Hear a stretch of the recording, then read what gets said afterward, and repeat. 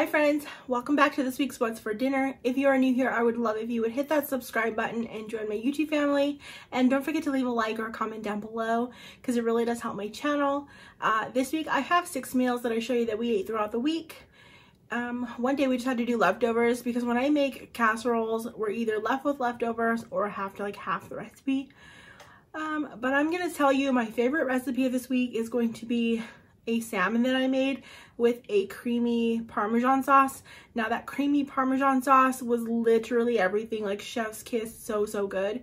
Um, but if you don't like salmon, I know a lot of people don't eat seafood, this would be just an like amazing of a sauce over like a ni nice herb crusted chicken. Um, it would be it was just like top level tier. I could drink this sauce by the spoonfuls. It was so good. It felt like I was eating a meal that was like made at a really nice restaurant but of course you know at like lower cost prices and better portions. Um but uh yeah check that out if you're interested in that and let's just get started.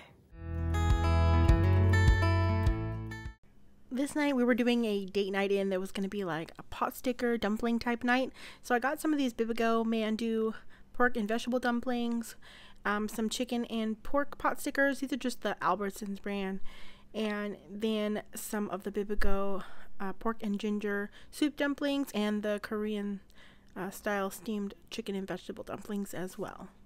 Now, I won't really focus on cooking these too much just because they're all different and different like directions on all of them. Um, but you know, I just like to fry them up. These, like gyoza typically is crispy, but pot stickers are typically softer. But I do like to have a little bit of a crisp on them no matter what if they're meant to be softer or not. So that's just me doing that in my new um, Greecho pans. And here they are done. I just covered those a little bit of black sesame seeds some green onion and some pickled radishes. Um, those pickled radishes were really really good. They're from H Mart if you ever see those. They're very crunchy and tasty. These were all really really delicious but my favorite of them all was the mandu dumpling on this night I just did breakfast for dinner. We had some scrambled eggs with some fresh um, tomatoes in them, a ham steak, some toast. Uh, I was making this video. It actually came out a couple days ago on a Friday.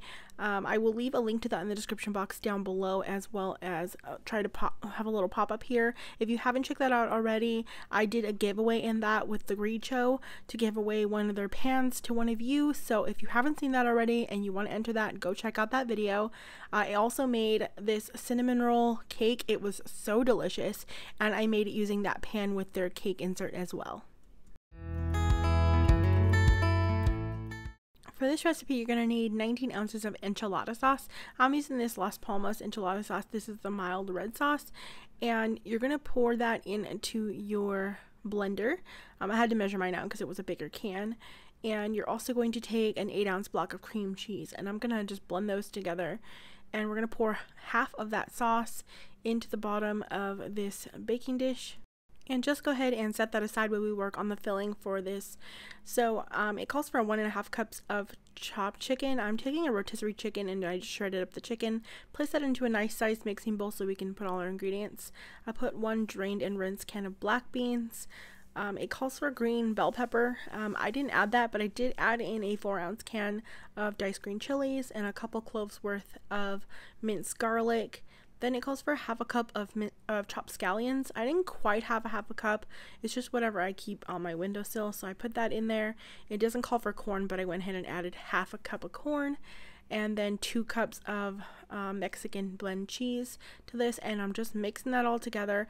Now it calls for taco seasoning one packet. I completely forgot at this point and didn't add it in.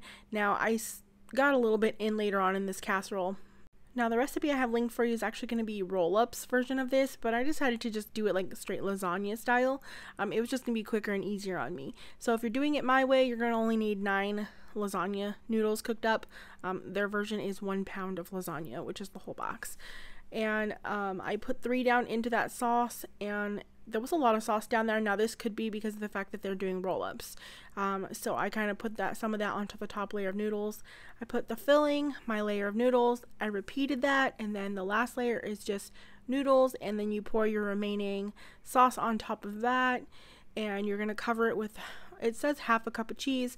I probably did a little bit more. I just made it look like the way I would want the top of a lasagna to look, but I didn't add it on yet. I did cook this first in the oven at 350 degrees for 30 minutes. Then, like maybe 10 minutes before that, I added the cheese on just so it could melt. Um, I kept this simple. I served a Caesar salad, which really complemented this because um, it was a little bit on the spicy side, but uh, I the creaminess of that salad really did help that. Now, when I was cooking this, uh, as when I realized I didn't have the taco seasoning, so I kind of lifted the top layer of the like the top layer of noodle and I just sprinkled taco seasoning into that top layer of mixture just to give the flavor. Now it wasn't quite a full packet's worth, but at least it added some of that flavor, which I really don't think it needed in the end because um, this was actually a little bit on the spicy side, but we're not huge fans of red sauce. Um, I still really enjoyed this. My boyfriend not as much because he really doesn't care for red sauce that much. I kind of would like to give this a try later on with like maybe green sauce. To my large skillet over medium high heat, I'm adding some avocado oil. You definitely don't need this much. I was talking to my boyfriend at the same time and just overpouring. Um, once that was hot, I went ahead and added my salmon fillets in there, skin side down, um, because these ones have skin on them, which I will be removing. It's just what I had already. Now, to season those, I used the blend and the buttery steakhouse from Kinder's on that. Um, I cook them five to six minutes on that first side and then I flipped them over and I cooked an additional like probably good six seven minutes. And as you can see once you cook that skin it just peels right off. I did knock a chunk of the salmon off as you see there. And I'm seasoning that um, side that didn't get like fried with a little bit more of the blend. And I'm flipping that back over and letting that cook for just a couple minutes to get nice and golden brown as well and add a little bit more flavor now for this amazing sauce, I'm taking 5 tablespoons of butter, letting that melt. I had chopped up some shallot and I'm adding that in there. The recipe that I'll have linked does not include shallot, but I had some and it sounded amazing. Now as you can see, my heat is just way too hot here. I would want this over medium heat this point and I still had it medium high from the salmon. Um, so I, I pulled that off that burner, let that come back down in temperature and then I set it back.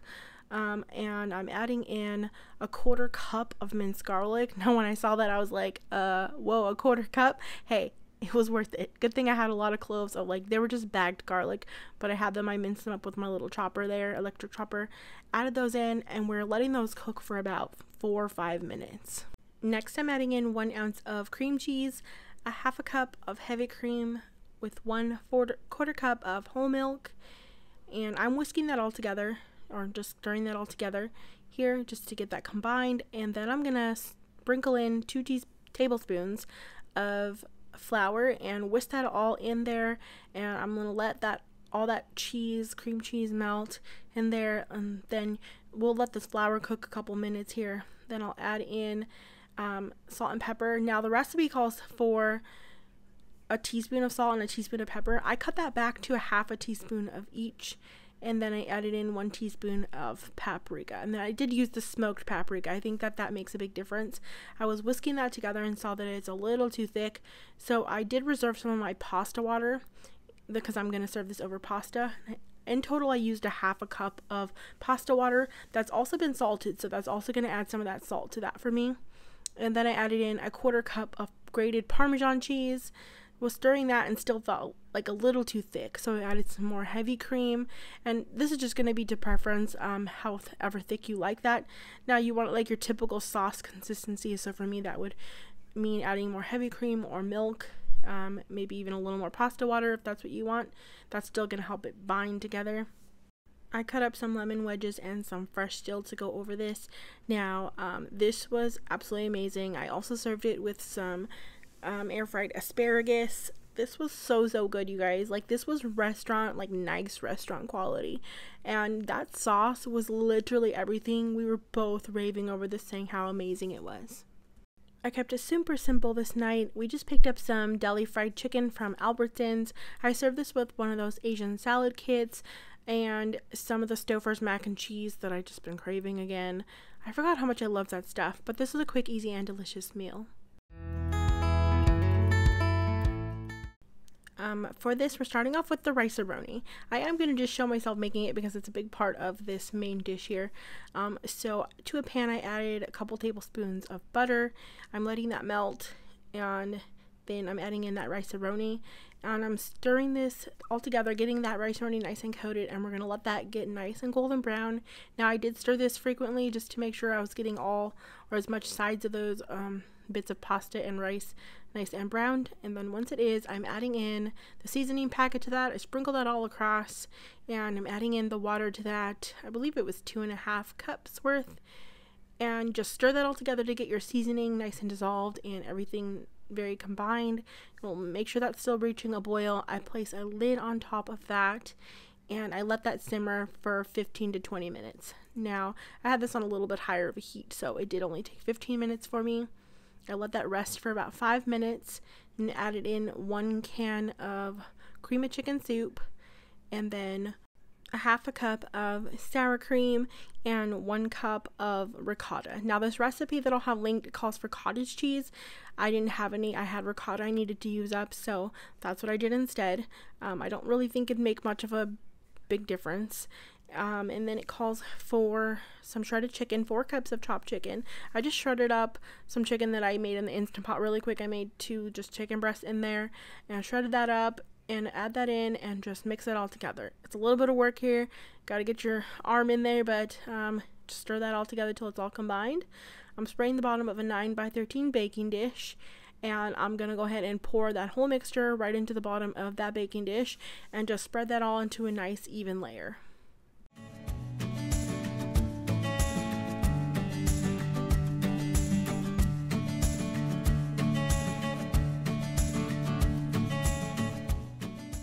Next, it calls for a quarter cup of grated Parmesan cheese on top. Now, I use probably closer to a third cup of cheese on that.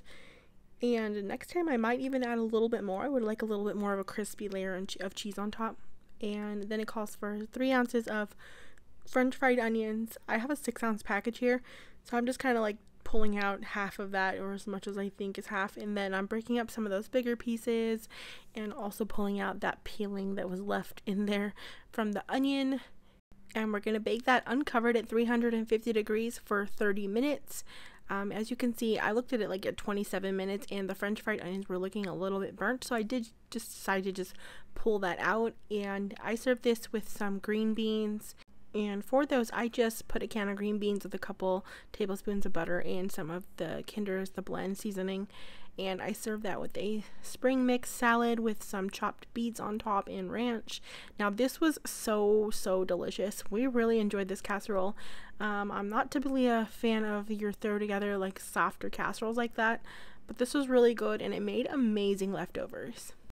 Thank y'all so much for watching. Don't forget to hit that subscribe button and that little bell so you don't miss out on any future videos. And I hope you all have a great day.